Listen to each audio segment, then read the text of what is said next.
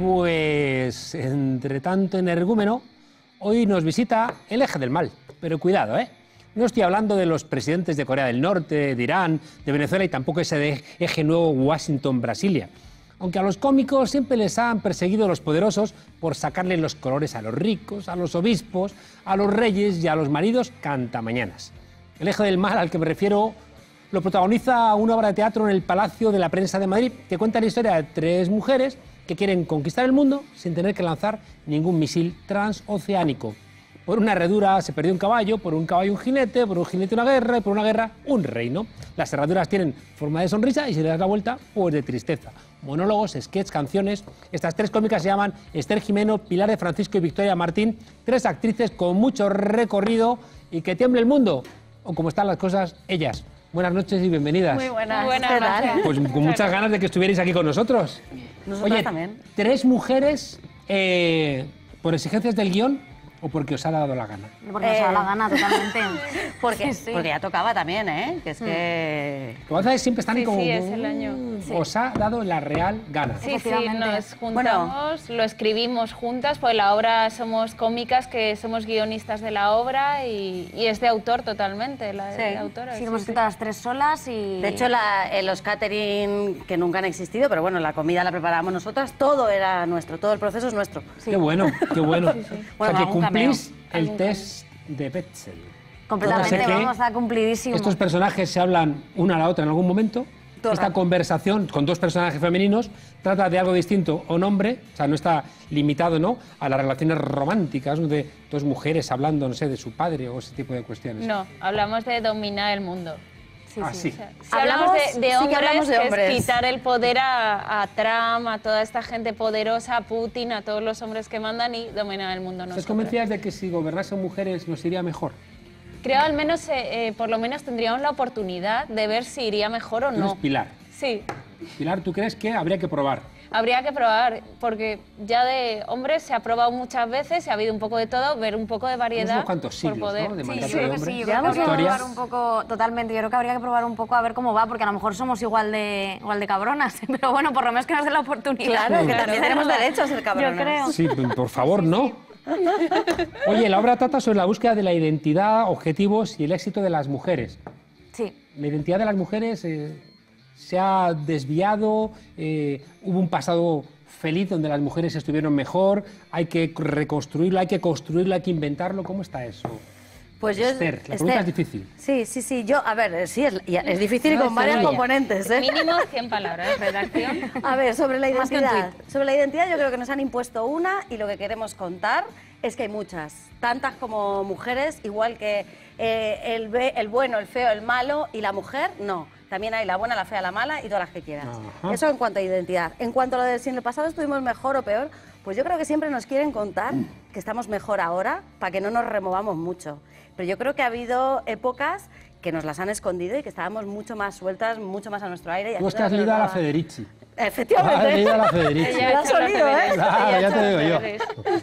Sí, totalmente. te Yo te iba a decir Totalmente. Wonder Woman, pero Esther ha leído Sí, más, sí, sí. ha visto más mundo. Y la, la Wonder acumulación Woman. primigenia, ¿no? El Claro. rollo este del capitalismo que vino todo junto. Entonces, En encarcelar a las prostitutas, Eso es. quemar a las mujeres Brujas. libres que conocían de hierbas eh, y que no ligaban sexo a reproducción, y al mismo tiempo condenaros a ser esclavas en el ámbito del hogar, a lo Totalmente, que mandasen los maridos. Y un poco la reivindicación también está, bueno, en nuestra obra está en que las mujeres podemos hacer comedia sin necesidad de hablar de los típicos temas de mujeres, porque eso es una cosa que nosotros queríamos hacer con, con esta obra, que es vamos a hablar de temas en los que la- para la, la mujer no tenía cabida anteriormente la Por comedia. ejemplo, parecía- ¿cuál, Victoria?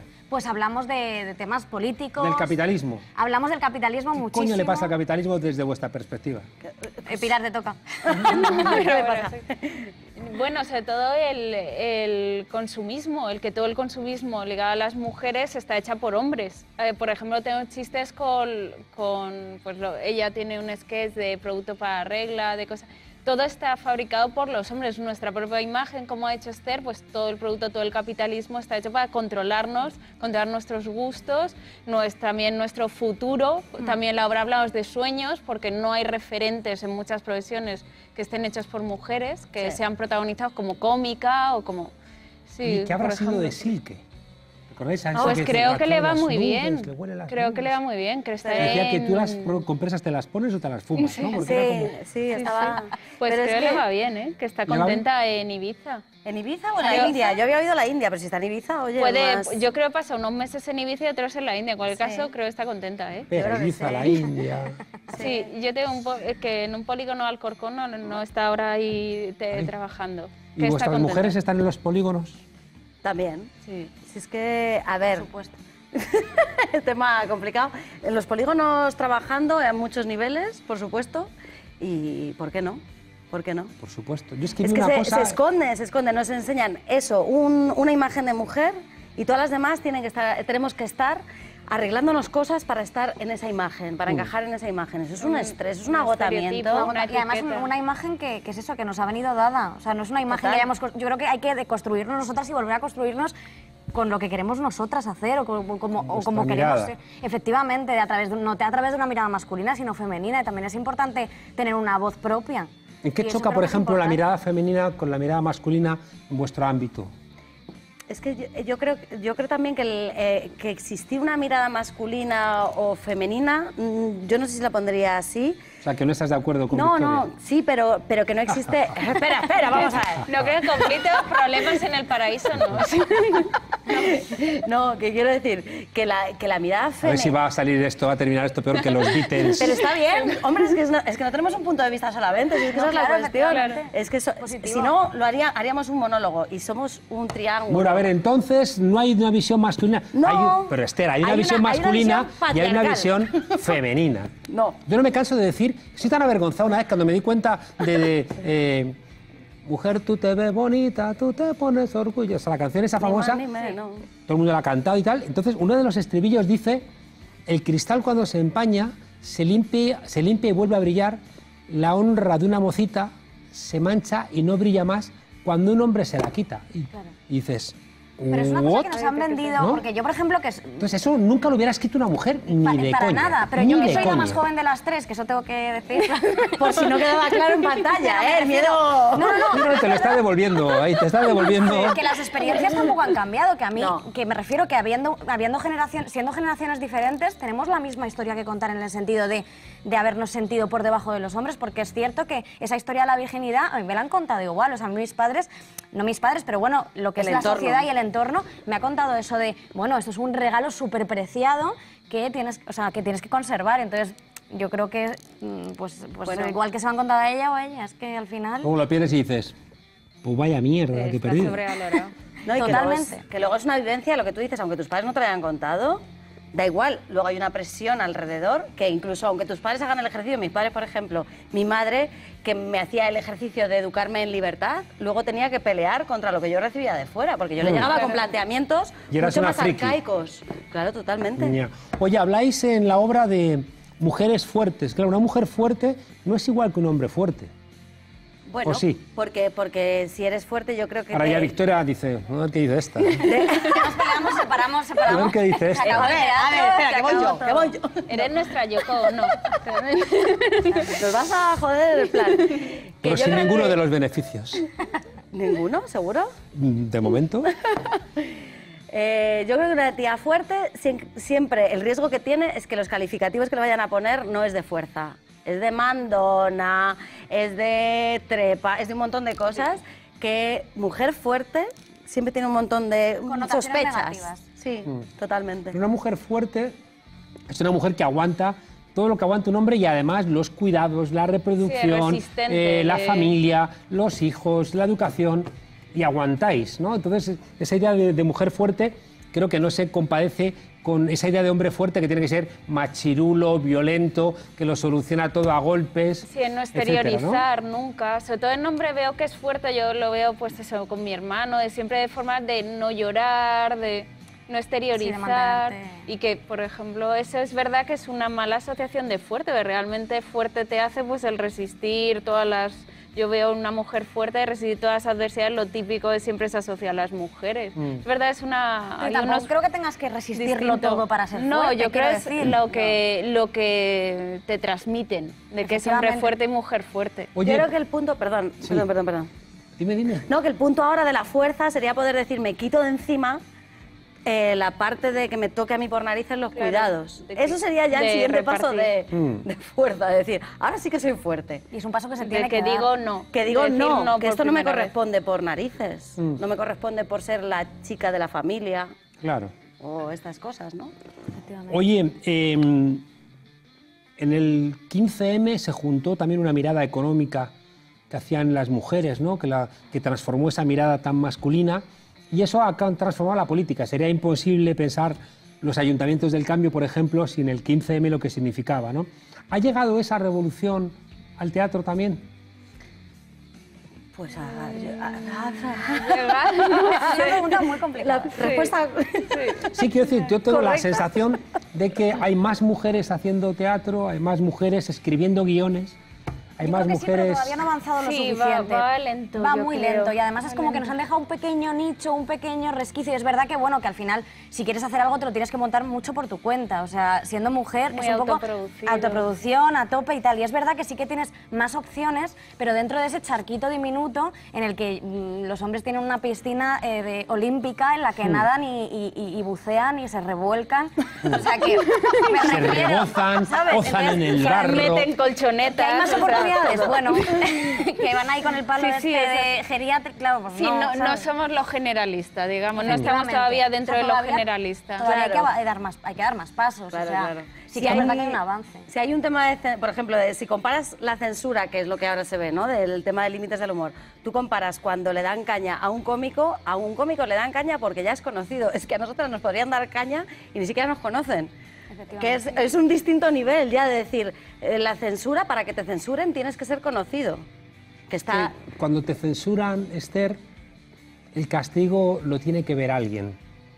Si no, el castigo es inútil. Claro, pero no te van a castigar a ti sola porque eso no le resulta rentable al sistema. Necesitan azotar al esclavo que ha huido de la plantación delante de todos los esclavos y por eso es más fácil montarle un pollo a Dani y Mateo porque ha querido decir que esto es un trapo, ¿no?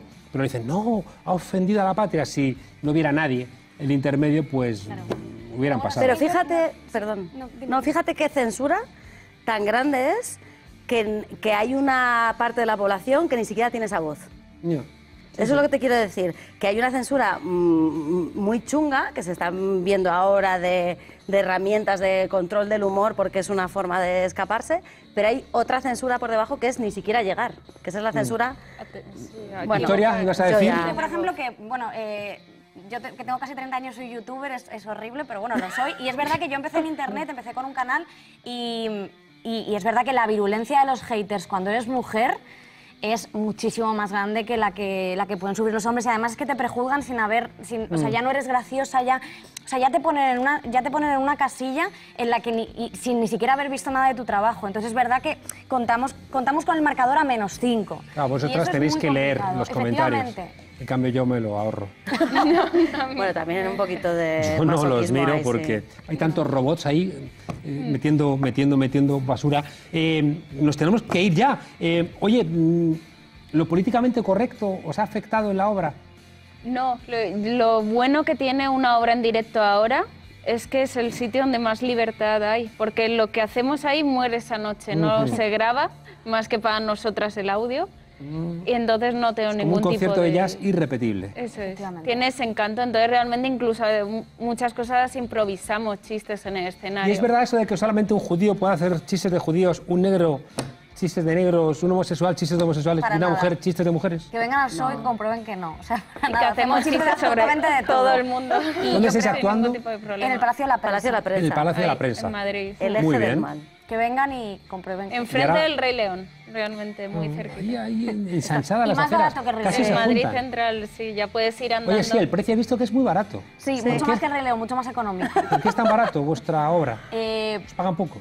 eh, Estamos empezando y bueno, Y hay que queremos un poco y aprovechar el ¿A qué este hora de empieza? Madrid. a las, A las once y media de la noche. Yo voy a ir.